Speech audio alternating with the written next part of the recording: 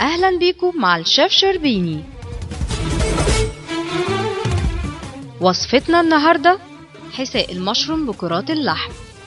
المقادير لحمة مفرومة بيضة كوباية حليب كوباية بقسماط أربع كوبايات مرقة لحم كوباية كريمة حامضة معلقة صغيرة بودرة بصل معلقة صغيرة فلفل أسود ملح معلقتين كبار زبدة معلقة كبيرة دقيق معلقة كبيرة زيت زيتون علبة مشروم مقطع بصلتين مفرومين. طريقة التحضير سخني زيت الزيتون في حلة كبيرة على نار متوسطة وحطي فيها البصل والمشروم والملح ونص كمية الفلفل وقلبيهم بالراحة من وقت للتاني لمدة من 10 ل 12 دقيقة. وبعدين اخلطي اللحمة المفرومة مع البيض والبقسماط وبودرة البصل وباقي الفلفل واخلطيهم كويس قوي. وشكليهم على هيئة كور صغيرة ونحطهم في الحلة مع الخضار.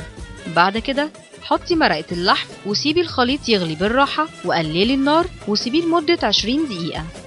دلوقتي هندوب الزبدة في حلة صغيرة وبعدين نحط الدقيق ونسويه لمدة دقيقة مع التقليب لحد ما يتقل قوامه. وبعدين نحط الحليب ونقلبهم ونسيبهم لحد ما يكتسب قوام سميك. وبعد كده هنحط الخليط ده على الشوربة في الحلة ونطفي النار. وعشان نقدمها هنحطها في اطباق الشوربة ونزين كل طبق بمعلقة من الكريمة الحامضة. ويا رب أكلتنا تعجبكم وبالهنا والشفا. وتابعونا دايما مع وصفات الشيف شربيني.